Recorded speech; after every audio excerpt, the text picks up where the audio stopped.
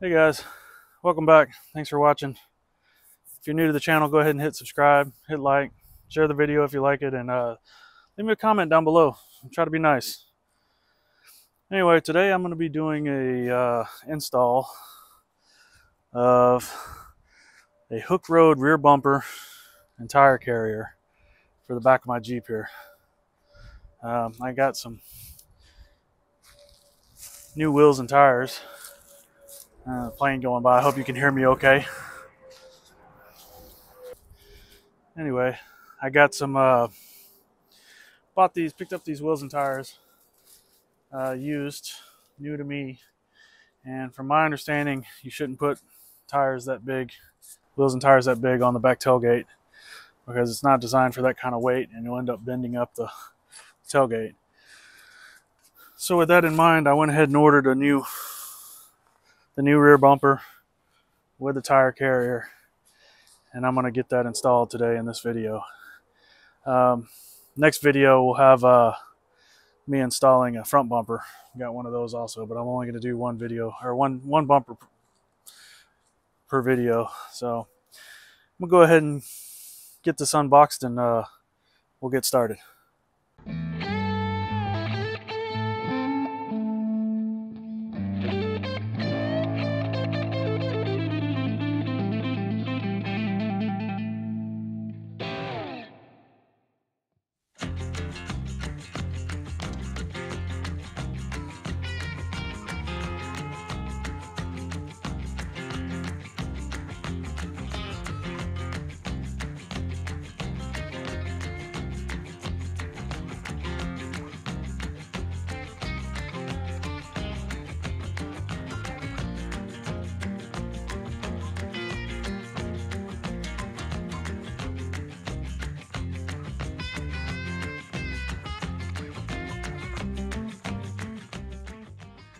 All right, guys, so that is it. That is fully unboxed.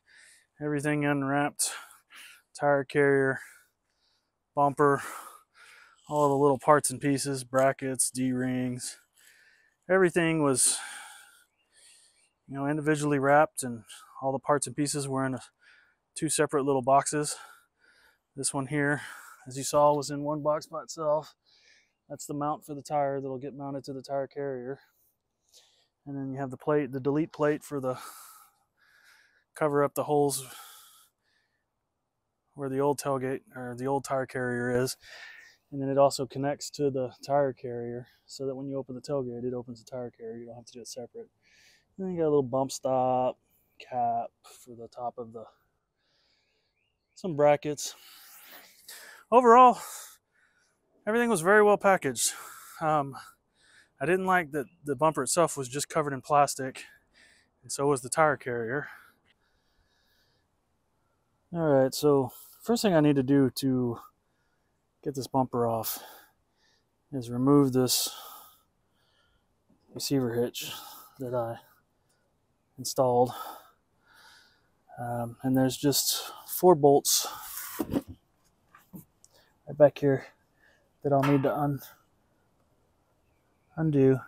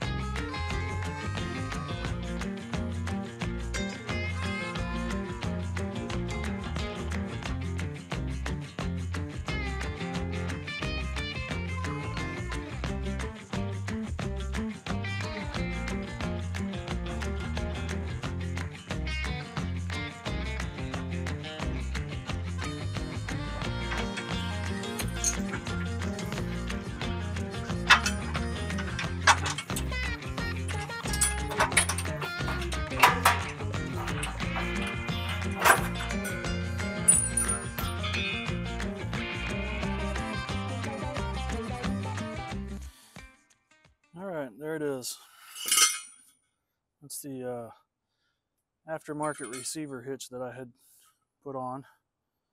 Um, if I remember right, It was about 50 bucks. Came from Extreme Terrain. Um, but like I said, the new bumper has a built-in receiver, so I won't be needing that. So it's probably going to go on Facebook Marketplace. In the meantime, to finish taking the bumper off, next thing I got to do is right down here on the side. There's two bolts mounting it to the frame rail on either side. So now I need to remove those.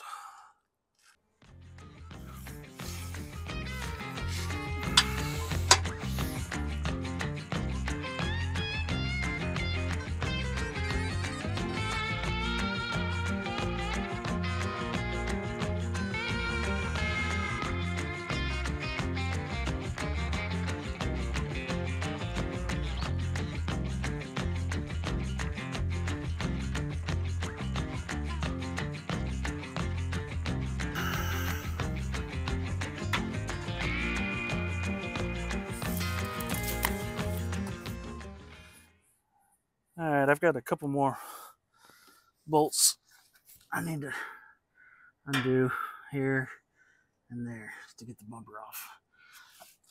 But before I do that, I need to, I was able to pop this camera out, but uh, I don't want to cut the wire and I've got a disconnect, but it's running up through the tub behind the light. So I'm gonna go ahead and pull that light out disconnect the wire, pull the camera out before I finish doing the bumper. You shouldn't have to do this step unless you've installed a camera in the same place on your bumper, but I'm gonna go ahead and get that done. All right, so I got my camera disconnected. And now that's removed. So now I've got couple more bolts and I'll be able to take the back bumper off.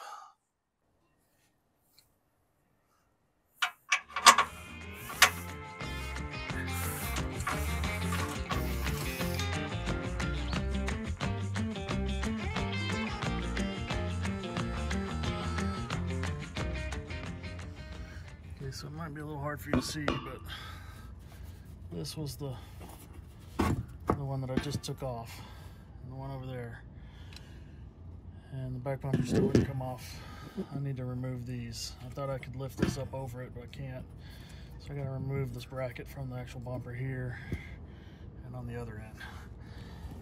I don't think you're gonna be able to see while I do that, so I'm just gonna do it real quick.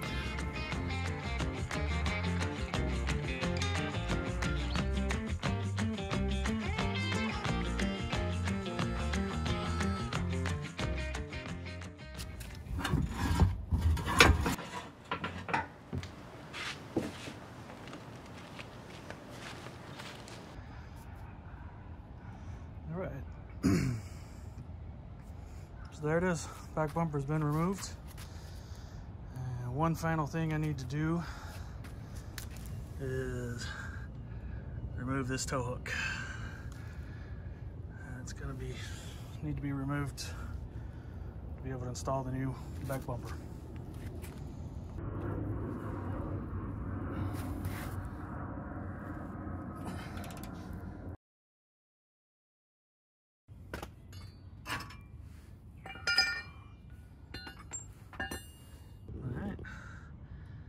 The final step for removing the bumper.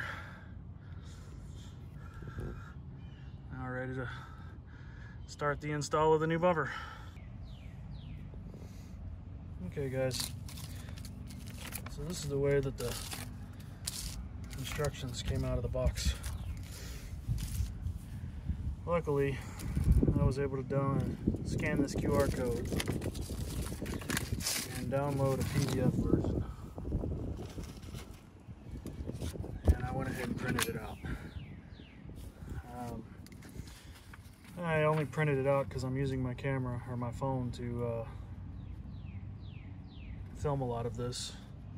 And I didn't want to have to keep going back and forth between the phone, camera, and the PDF trying to film. So I went ahead and printed it out. Make it a little easier to read anyway. Um, so there's all the parts list. If you notice, they have letters for each one of the different parts, which uh, looking at these instructions, they're not the most user-friendly. Um, by the way, if you happen to need instructions for this uh, particular bumper, if you want to pause the video and scan this QR code, it'll take you straight to the instruction PDF.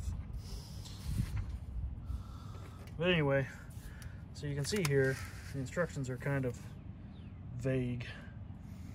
Says, begin by removing the factory tailgate vent cover and the bumper.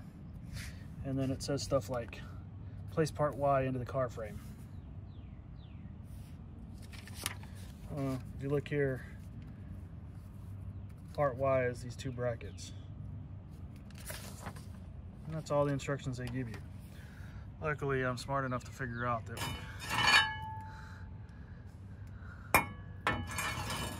want you slide those in there like that so that you have something to screw the bumper to.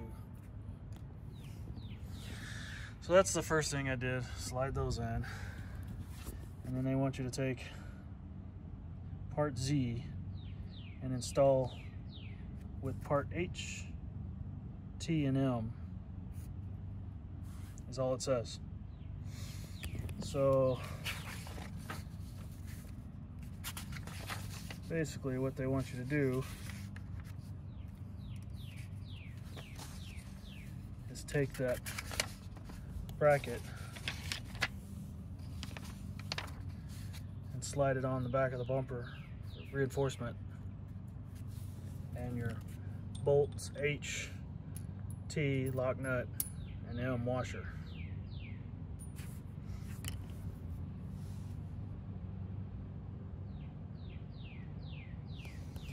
So it's not real intuitive, but it's kind of not the most complicated thing in the world. Just not real good at writing instructions. so anyway, I'm gonna go ahead and uh, slide this in and uh, we'll move on from there.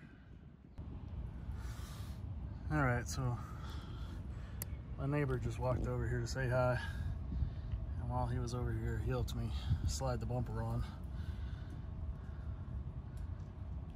So I didn't get that on video, but it's easy. It just slid right in place. Right over the two frame rails here. And now if you notice, you can see the, the threads from the piece that we put slid into the end of the frame rail. And that's where your bolts will attach.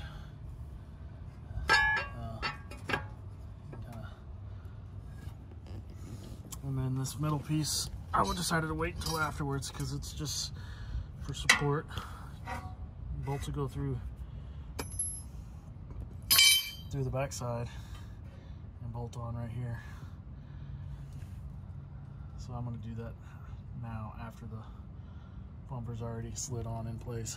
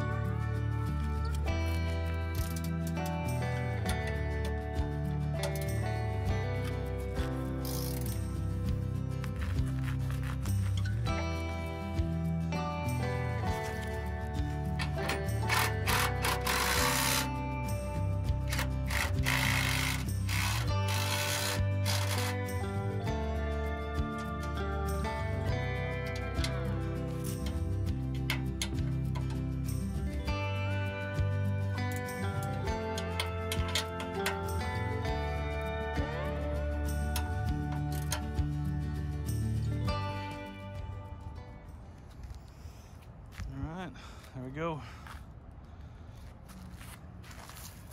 Back bumper is on.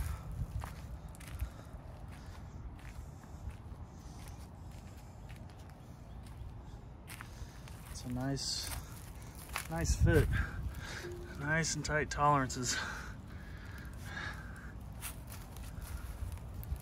Made it a little harder to get on, get the bolts lined up, but I think it looks really good. Now I just got to do the tire carrier. Now I'll have to, this old one, I have this little clip here from a harness for the trailer. This one doesn't have it, so I'll just have to zip tie that up onto that reinforcement bar. Keep it up out of sight anyway.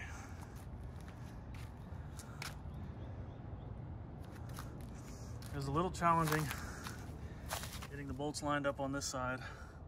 Trying to hold the bumper up with one hand, hold the little plate inside the frame rail with the same hand, and then trying to thread the bolts through to get them started. Once I got them started, it was pretty easy. Eight total bolts holding the bumper on, four in the center and four, two on each side. Nice looking bumper. Not a real big fan of the, the logo here. I may end up pulling that off.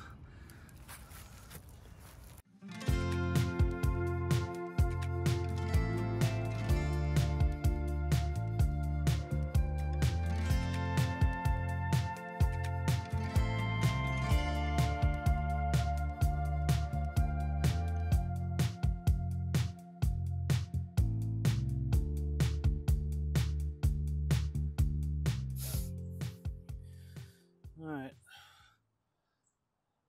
So I've got the old tire carrier off, removed the vent, everything, cleaned it off really good. Now it looks like the next step is to install this bump stop. So I'm gonna go ahead and do that real quick.